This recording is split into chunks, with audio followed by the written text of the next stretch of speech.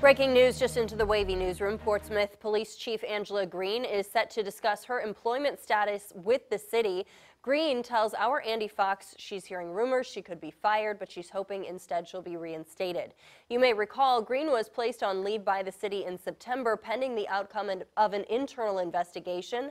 Greene has been under intense scrutiny after the police department charged State Senator Louise Lucas and others in connection to the destructive demonstration at Portsmouth's Confederate Monument in June.